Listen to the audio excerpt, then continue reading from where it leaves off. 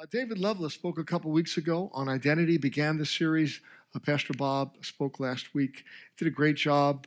Um, it's just an exciting series to find out who we are in God. What did the Bible say about who we are in Him? That we could really look in the mirror and go, oh, that's who I am. That's who God made me to be. That's what His call is on my life. And so here's a slide. The purpose in life is to become like Jesus, our Creator. There is no greater purpose. In Him, we see our true identity, living out, becoming like Jesus is our destiny. Our identity is to become like Jesus, and living that out is our destiny in Him. The Bible makes it clear, and here's a Bible verse that confirms what I just said. For God knew His people in advance, and He chose them to become like His Son, becoming like Jesus. That's one of our values, representing Jesus well so that his son would be the firstborn among many brothers and sisters.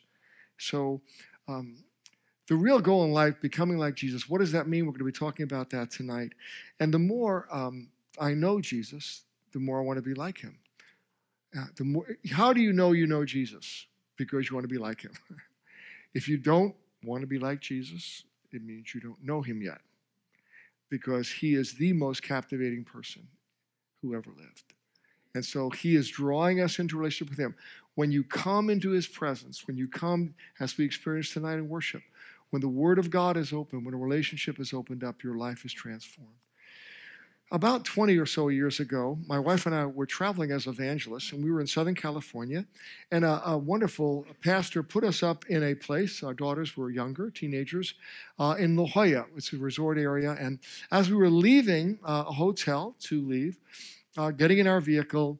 Uh, these guys, about 50 feet away, go running by. First one uh, running by, others running after him, yelling, Stop him! He stole our purse! And so one guy goes, then two more go, and I don't know, I had my sneakers on, I was younger, I decided I would run. And so I start running, didn't know exactly what was going on. Obviously, I knew as much at that point as I've told you. Um, but because I had uh, started the race uh, later. They had already been running for a number of blocks. I was fresher, and I was also more youthful than the incredible specimen you see before you now. So, uh, as time went on, I went from third place to second place to first place. And, but he still, this guy has more incentive really to run at, than I have at that moment. I want to catch him, but he's really running for his life. All of a sudden, our car pulls up, and these two, uh, you know, very beautifully dressed ladies in a big fancy car pull up, open the back door. They've got gifts they've been shopping, and they say, Hop in. We came from the restaurant. And so I dive in the back of this stranger's car. They peel out and uh, it's quite exciting at this point. And so we are going now for a couple more blocks. And this guy, you know, we are now in a motorized vehicle. So uh, he's not going to escape. Finally, uh, he sees that. I get out of the car. I then catch up to him. As I'm catching up, he takes the purse and he throws it over a fence.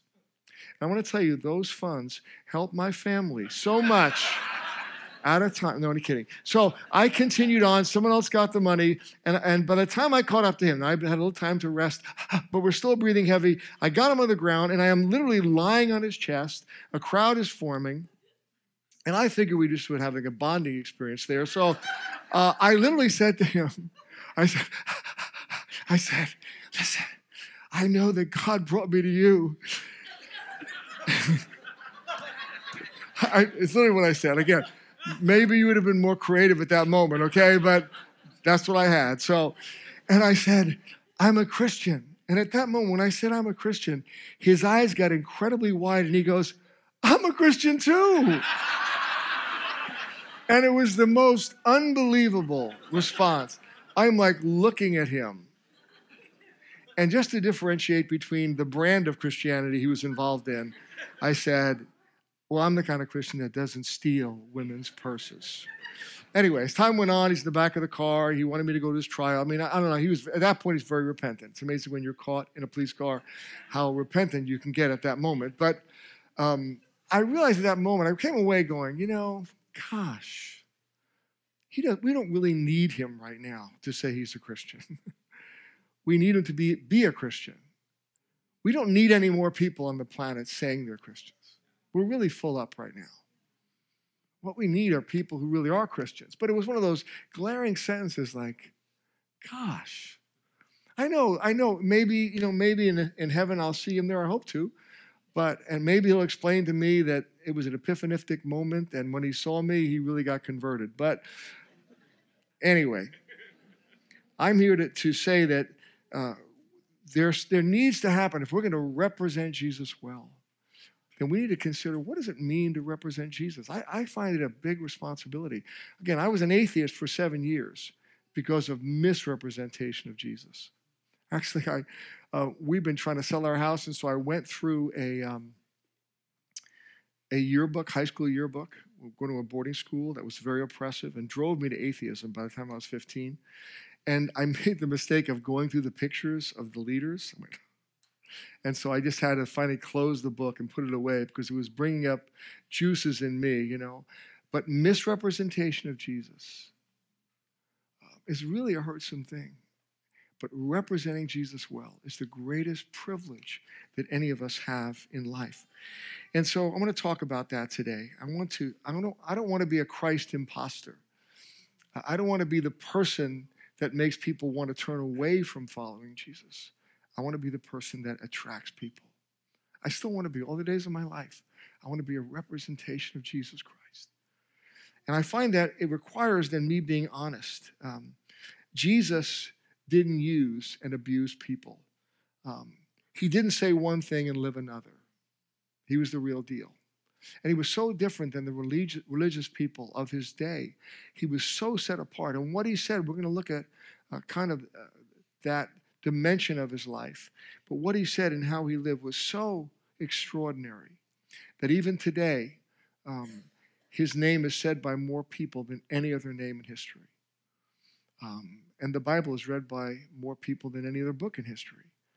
Because Jesus Christ, to me, is the perfect representation of God come to earth. And so the question is what is Jesus like? First Peter says this, therefore, preparing your minds for action. Wow, sounds like we're going to do something. And being sober minded, set your hope fully on the grace that will be brought to you at the revelation of Jesus Christ. When you see who Jesus is, the revelation of Jesus. As obedient children, do not be conformed to the passions of your former ignorance, but as he who has called you is holy, you also be holy in all your conduct, since it is written, You shall be holy, for I am holy. So, what is God like? He's holy. What is Jesus like? He's holy.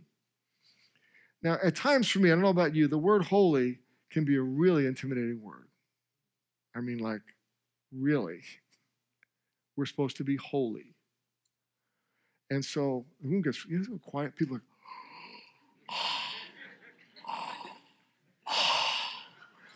because the word holy is, is a holy word. And when you think about it, you go, wow, I'm really trying here. But holy, this is a little stretch for me. Anyone feel that way? I mean, I'm, I'm, supposed to be a pastor, right? Okay, but I'm, I'm a Christian too. How many believe pastors should be Christians? Okay, yeah, so I think if holy is part of the deal, then that's a real big word. He said, be holy. And so I, I found a verse that really did encourage me. First of all, uh, how many of you would say, I'm not going to have you raise your hand, but that you are a holy person? And that you live a holy life. Again, if someone said, you know, if someone said that, asked me that question, you know, you, first of all, you're, you're having to be, um, if you're honest, you have to be honest. And you'd have to default then to what you thought holy meant at that moment. Was holy something that required systematic, consistent actions that were so much like God that you were walking in that holy plane? so if that's what it is, I'm just saying.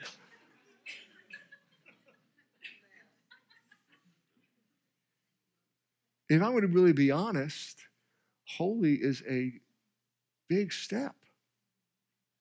Now, again, when we receive what Jesus did, we put on his robes of righteousness. So in our relationship with him, we're not made holy by any human effort, not by works of righteousness that we have done, but by his grace and mercy he has saved us. So I wear his robes of righteousness. But again, in terms of behavior, remember that, that the verse began with preparing your minds for action. That's what it said there. So uh, it requires faith without works is dead. It requires some action to live this out. And so I read this verse in Colossians recently. So, as those who have been chosen by God, holy and beloved. Now, it's about to tell us what kind of person we need to be if we're going to be holy. Some of you are excited about hearing this, some of you are concerned, waiting for the shoe to fall. What's about to happen? But it says this put on a heart of, so now it involves your heart, your inner person. If you're going to, first of all, you're beloved of God, God loves you, loves you, love, love, love, loves you to death. He died for you. He loves you so much. But if you're going to be holy, He's about to tell you five dimensions of what it means to be holy. So, as those having been chosen of God, holy and beloved, put on a heart of compassion, kindness, humility, gentleness, and patience. Not know about you. When I read those, I felt better. I, am not saying again, I, I, I have a measure of compassion. I can be kind. I have been kind. I can be humble. I, I have been gentle. I can, uh, patience, I don't have a lot. I was kind of short suited on that one. But somehow when I saw that, it actually was incredibly refreshing. Because it wasn't like, and now you're sinless, faultless. You will do everything right for the rest of your life. You're holy. I'm going, just shoot me now, all right? But this gave me hope. Anyone, I, I, this is your first, this is the first time I'm sharing this. It's a new revelation. Anyone encouraged by those words? Anyone think, bummer? Why did he say those five things? Again, I, I'm not saying they're a low bar. I'm just saying these things we can see God using us to do. It's no longer just a bar you could never reach, a height you could never attain to, you know, something way beyond you. Because what that does, that produces Pharisees who walk around with this mystique of holiness. And if you look at the Pharisees and the Sadducees, and that's probably why they were sad, you see. if you look at them, just be polite, I'm a grandpa, you're going to laugh at those. I don't see a lot of compassion in the leaders in, in Jesus' day, or kindness, or humility, or gentleness, or patience. And that's why Jesus didn't talk to them very nicely, because they were not holy. And they weren't acting holy toward people that needed those five dimensions. So I want to encourage us all. Yeah, it will, it will humble you for your heart to be softened, to believe that is now the filter in part. I know holiness encompasses more than that. I'm not saying this is the length, depth, and breadth of holiness. I'm just saying I'm glad it's a part of the deal. And I, am glad it's a part of the definition of holiness because it was liberating for me. It gives me a target that I can aim at. And really, when you think about Jesus, he didn't float around, you know, uh, with little cherubs, and uh, he was a real guy. And I saw him demonstrate compassion and kindness and humility and gentleness and patience. And that's why I fell in love with him. So, let's take a look at that. My message is identity being holy. and if I had started out, we're going to talk about you being holy. You better be holy. Because God said, be holy. And He's big. How many would like to hear that message? Oh my gosh. Okay. So, first of all, as we have mentioned, the leaders in his day, you know, who did Jesus minister to? Think of, first of all, the, the Pharisees and Sadducees and the priest's relationship to people like lepers, the physically impaired, Samaritans, which were half breeds, half Jew, half Gentile, tax collectors, Galileans, their enemies, or just plain sinners. How did the Pharisees, the religious leaders of that day, treat those people? How did Jesus treat them? You know, the Pharisees were rigid and proud and harsh and uncompassionate and impatient. Jesus, what did he do? How did he treat, again, the lepers? He laid hands on them. The physically impaired, he, he, he imparted life to them, he gave them virtue. Uh, Samaritans, the woman at the well, you know, not being ashamed to talk to her, even though his disciples were ashamed that he was talking to her. He was not ashamed to be a friend of publicans, which means tax, tax collectors and sinners. Galileans, he's part of a group that was mocked within the Jewish community.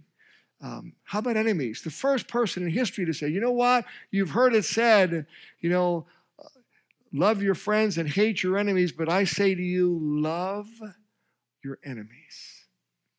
The people who have treated you the worst in your life, these are the people that you are called to love. And the reason why Christianity spread like a holy virus is because as Christians were dying and being martyred, they were loving the people who were sending them to their death. And it was so diabolically different that all of a sudden their captors became Christians. And the Bible says in the book of Acts that many of the priests began to be believers. And all of a sudden, it began to spread because they really were holy. Not little mystique, not the air of holiness, but the genuine heart. So let's examine these five words. The Greek meaning of these words describing holiness compassion, a heart of mercy, the inner depths where compassion resides you know, I, part of me, you know, just listening to Brett lead worship tonight, and you know, he's just an all-in guy. He's not he's not coming up here doing some little slick song set. He's sharing his whole life. And that's really what we want. If we're not going to get that, you're going to get some kind of processed, you know, MSG message, you know, with stuff in there like, gosh, it didn't sound like a real person was talking or singing. And I'm, I don't get. I'm one of those guys, you hear me talk about this only periodically because you couldn't handle it if I talk about it all the time. But I'm a guy who believes for a move of God. And without a move of God, I don't want to leave this earth. I, have seen a move of God. I got saved in a move of God. That's what I'm waiting for. I'm waiting for Jesus to take over rooms. And it's got to start with me. It's got to start with you. So when I hear about this, I go, wow, I want the inner depths of compassion to reside in me. I have received a lot of mercy. As a matter of fact, I have received more mercy than anyone I've ever met because I know the mercy I've received. And I know his mercies are new every morning.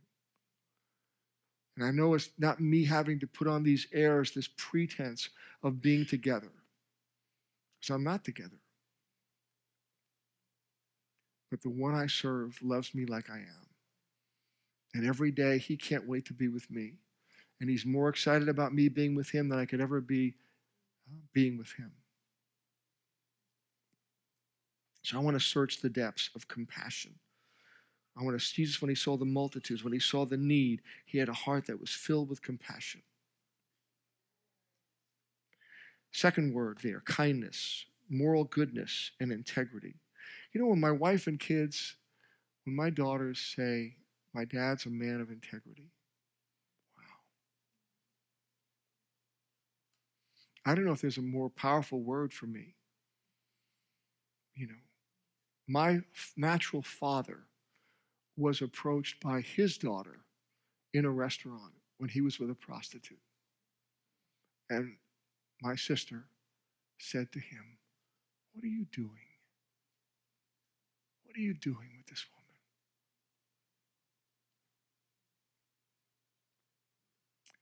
I want to be a man of integrity. You know, my, again, this reunion, I have two brothers and two sisters. One spouse has gone home, has gone dead. But all nine of us that are left all love the Lord. And we had a powerful prayer time. And we discussed this very verse. And we prayed for our kids and our grandkids. Because we really have been rescued. All of us have been rescued.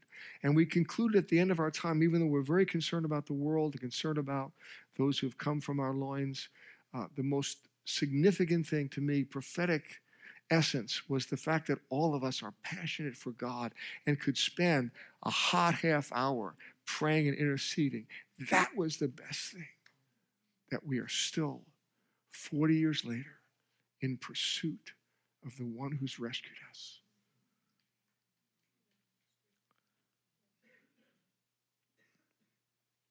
How many of you want to follow a God who's a liar? Who says one thing and does another? See, that's the thing about Jesus. Jesus, he said, when I am risen, you know, after I'm dead. See, every, uh, every other person, all the other leaders of religious sects, they're dead, gone.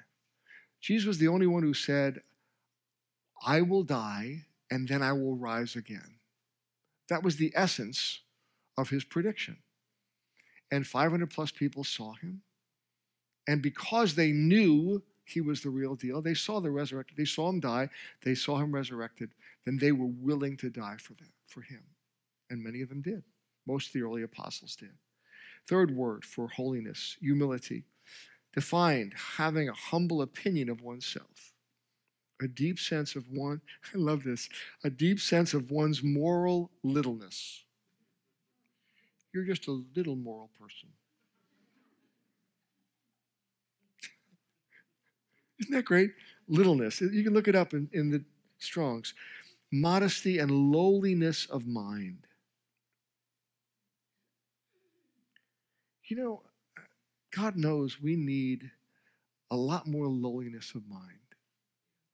You can feel as low as you want to about yourself. Jesus said, I am meek and lowly in heart, and learn of me.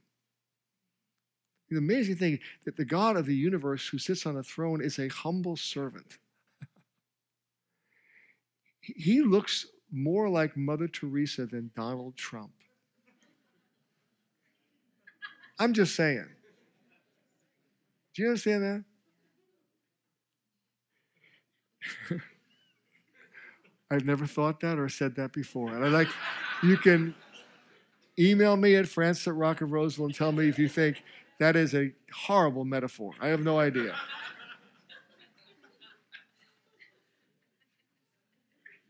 But you, you got to get a glimpse of who you're supposed to become like. If you got the wrong glimpse, you're becoming like the wrong person. That's what really puts a great responsibility on my life.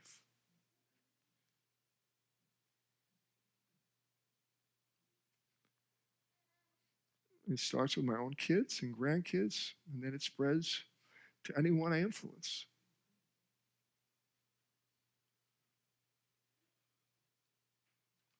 And I want to infect you. because I don't want after someone's tracked you down and is lying on your chest because you've stolen something and you go, well, I'm a Christian too. I go to the Rock of Roseville. Please don't say that.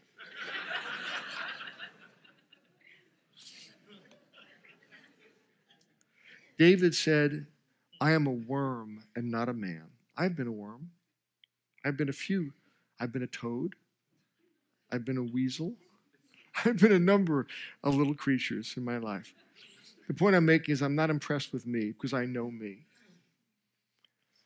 If anyone needs a Savior, it is me.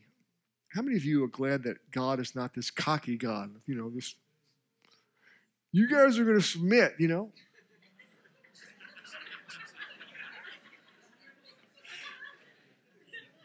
I, I find the word humble, really, for me, candidly, the word humble has just been used so much. I, I just, I, I just had lost all its oomph. And so I went to the word from humble, I segued to the word humiliated. And I realized if you look it up, it's not going to be good. And I realized humiliated is overstated. But somehow it was much closer to what I wanted to feel than humble. You know what I'm saying? Humiliated. It's hard to get a lot of breath with humiliated. Being humiliated, you really have decreased. There really is a, and there really is, I believe a move of God comes in a person or in a group when they are fully empty. When God goes, you know what? There's so little of them left. They've made enough room for me.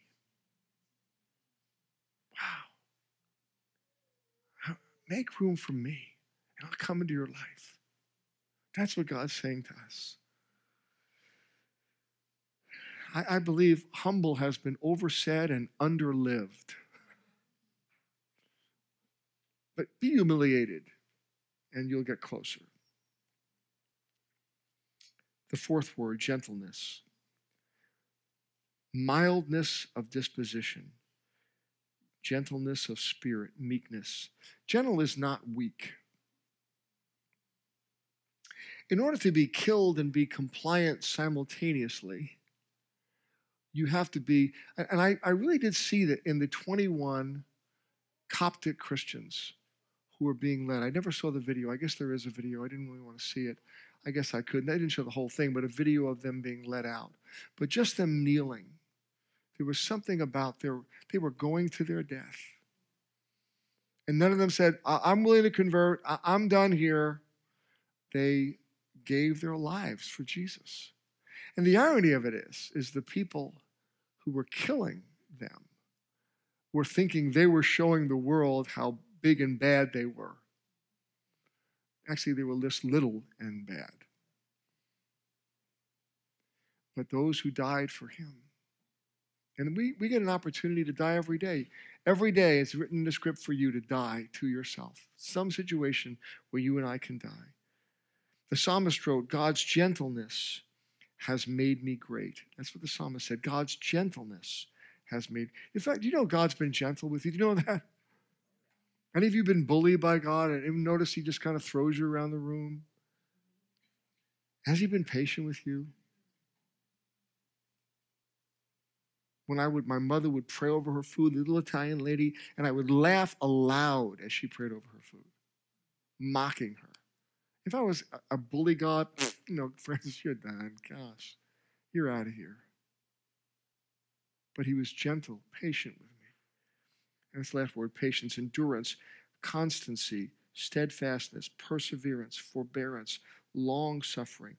I know we all love, you know, love, joy, peace, but long suffering is a fruit of the Spirit. Faithfulness, fruit of the Spirit. Self control, the anti American value. Self control. And slowness to, in avenging wrongs. Those are great qualities. To be holy, that's holy. That's holy, a picture of holy there in a beautiful way. Hebrews 12 says, strive for peace with everyone and for holiness. It's interesting when it, you know, all those qualities really, gentleness and kindness, all those qualities really were demonstrating peace toward people. And so when, when it talks about being peaceful, it talks about be like Jesus with people, and then you can be holy. You're going to have to forgive people turn the other cheek and win the extra mile and lay your life down for them. That's why David was called a man after God's heart. Here's one scene in the life of David. I, I just I went away on a time of prayer and fasting a few months ago and just read First, Second Samuel, and just devoured it. Just the life of David, and I just this man was so extraordinary. Just one scene here. David, a man about whom the Book of Acts says God said, "I have found David, son of Jesse, a man who's kind of like me." He's holy like me. He's kind and gentle and forgiving and patient. This is, again, I'm not saying every second of his life, nor will we be every second of our lives. But he had those qualities. He will do everything I want him to do. So at one tragic moment, King David is fleeing from his son, Absalom, who wants to kill him. Now, again, I can't think of a more tragic sentence than you fleeing from your son because they're trying to kill you. This is a rather a low moment in any life. And the son, arrogant, wanted to make himself king. But it happened. So 2 Samuel 16 5. When King David came to Bahurim, there came out a man of the family of the house of Saul. Okay, Saul was the previous king, bad guy, began small in his own eyes, became puffed up. The kingdom was taken away from him, became an archenemy of David, tried to kill him. And David, again, was Saul, as Saul was in a cave, got close to Saul, cut off part of his garment, and then showed him, I could have killed you, I didn't kill you. And then had a lucid moment. Saul says, You're right, you know, you're better than I am, but later on took a javelin, wanted to kill him. And so this guy, Saul, had a family member who was angry that Saul had been killed. And Saul was killed in a battle, David didn't do it. Saul and his sons were killed in a battle, whose name was Shimei, the son of Gera. And as he came, he cursed. He's coming at David. David is now leaving. Rather than fight his son, he's now leaving and in humility walking. And here comes this guy. And he's cursing at David constantly. And he's throwing stones at David and at all the servants of King David. And look who else is here. And all the people and all the mighty men on David's right hand and left. And if David had any kind of chip on his shoulder, he said, You know what? Take him out, kill him. But David, even what David said to him, um, and I don't have all the verse here, but he said to them, Who knows, maybe God brought him out here to say those things to me. What kind of a. And I can just see, you know, Jesus who would come. That's why he said, I'm the son of David. Do you like those qualities David had? That, that's, that's the kind of background I, I want to have that response. And Jesus, again, could have called down 12 legions of angels, but he took it, he absorbed it. Are we that kind of people that absorb? Because you may notice being a Christian, a genuine Christian, a Bible believing Christian, not a politically correct Christian, but a Bible believing Christian, is going to cost you something. It's on the menu, it's up around the bend. It'll cost something at work with your family for you to speak up, not an arrogance, not a cockiness, but to live a life that genuinely demonstrates the life of Jesus and not just roll over in fear or unbelief or hiding, but saying, This is what I believe. So Shimei had a, a grudge against David. And David wrote about this in the Psalms. He said, but I am a worm. About this event, and not a man. I am scorned and despised by all. Everyone who sees me mocks me. They sneer and shake their heads, saying, Is this the one who relies on the Lord? Then let the Lord save him. If the Lord loves him so much, let the Lord rescue him. During a battle between the armies of David and Absalom, Absalom was killed, and David's restored to the throne. Now, David is traveling back to Jerusalem, and there's Shimei and Shimei is kind of shimmying up next to him.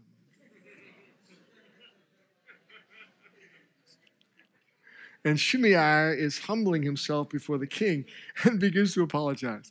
This is a little weasel. and the king, about to cross the river, Shimei fell down before him. My lord, the king, please forgive me, he pleaded. Forget the terrible thing. This is the guy. I'm a Christian too. This is the same deal here. Forget the terrible thing your servant did when you left Jerusalem. May the king put it out of his mind. I know I have, I have much I sinned. That is why I have come here today, the very first person in all Israel to greet my Lord the King. I'm sorry. It's just hard to really believe the genuineness of the moment. Then Abishai, son of Zeruiah, said Shimei should die.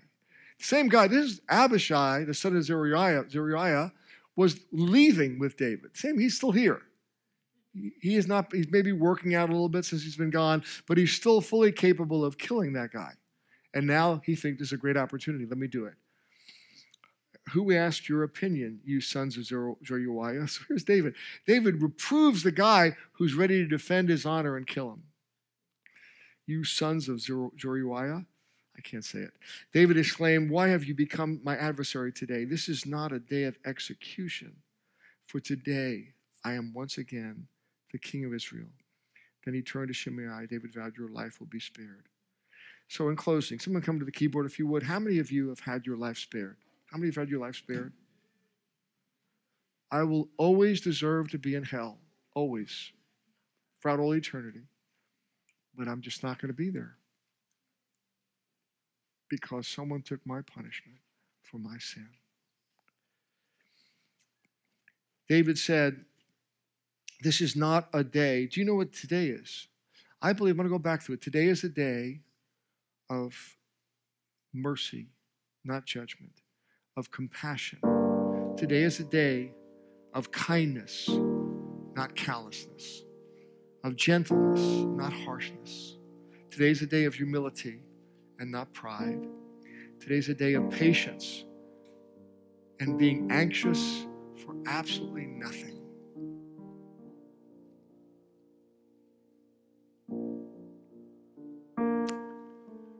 How many of you want to be holy men and women?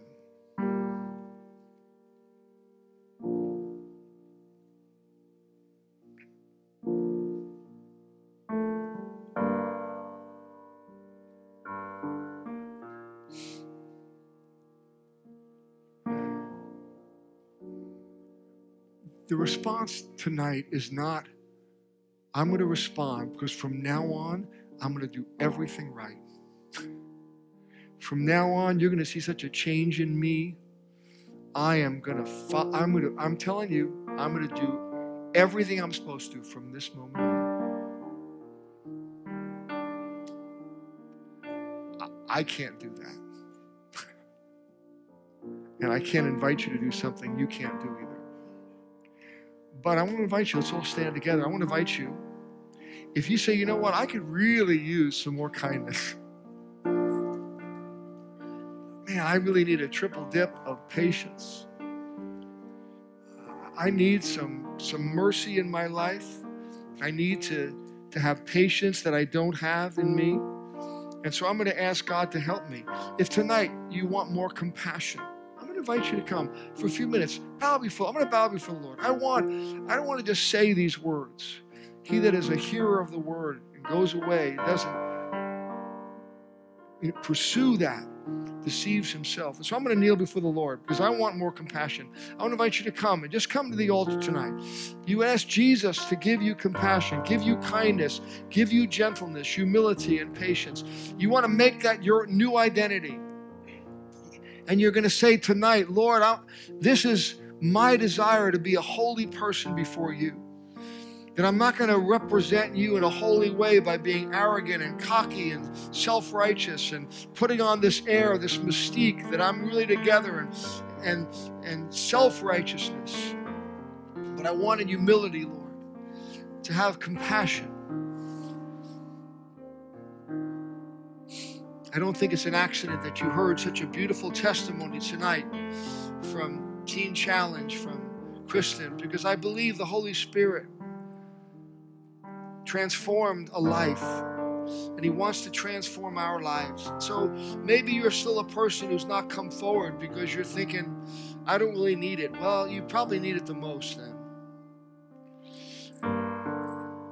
I want to be this kind of person. I'm not ashamed to bow before Jesus. I'm not ashamed to let everyone know I need to be more kind and more compassionate and more gentle and more humble and more patient.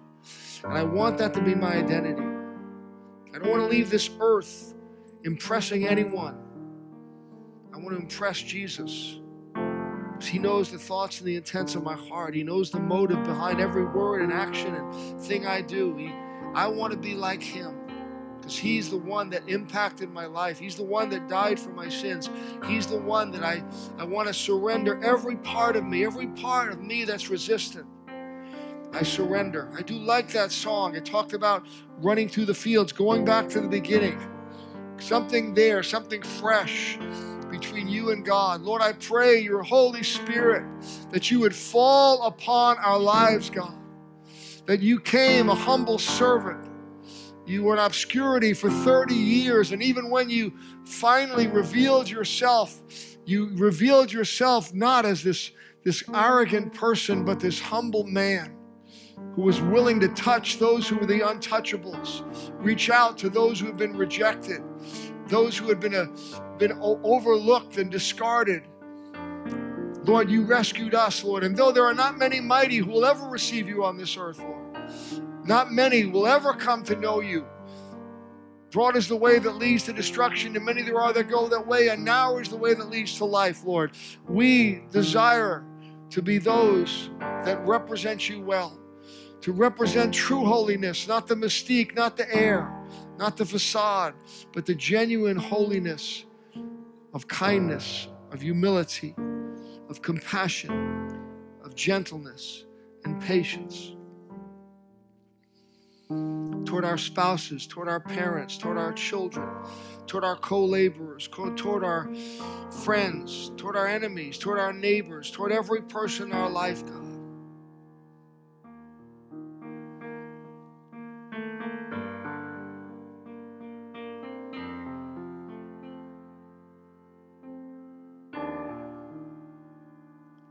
Maybe you're reflecting on specific person in your heart. You know you really need to ask their forgiveness.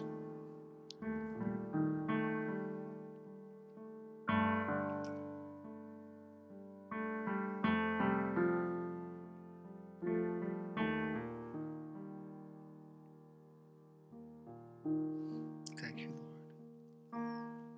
Lord. Just like to lead us in a prayer and just pray from your heart. Put some words. The Bible talks about death and life and the power of the tongue, something we say if we say it sincerely, even though someone may guide us in it. If it's genuine, it has power. So would you pray, Heavenly Father, I bow before you, a holy God who sent your Son Jesus, who modeled your holiness. He was compassionate, he was kind, he was gentle, he was humble, he was patient. I want to be like him.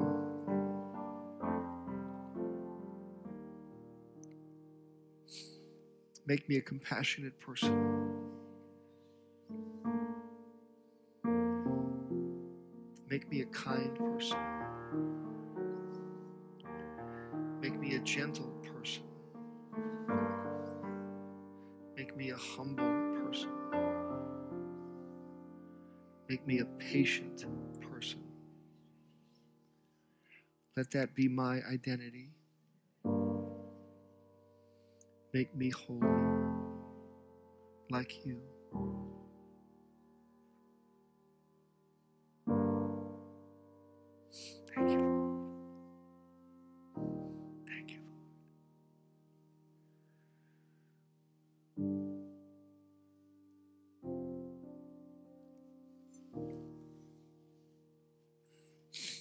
Lord, we humble ourselves before you and we thank you that you, we don't come as beggars, we come as sons and daughters. We bow before you because you are our Lord, our King, our God, our Savior. You're worthy. And we honor you tonight, Lord. We bow before you. We bow our hearts and say, We believe you hear our prayers. And we pray that the prayers we pray, that the word would become flesh in us, Lord. That your original intention, as Romans 8:29 said, that we would be conformed to your image. We would be transformed into your likeness. Would you do that in us, Lord? I bless you, Lord. I honor you. I thank you for this church family. I thank you for those who are here who sincerely, I look in their eyes and I see sincerity. I see genuineness. I see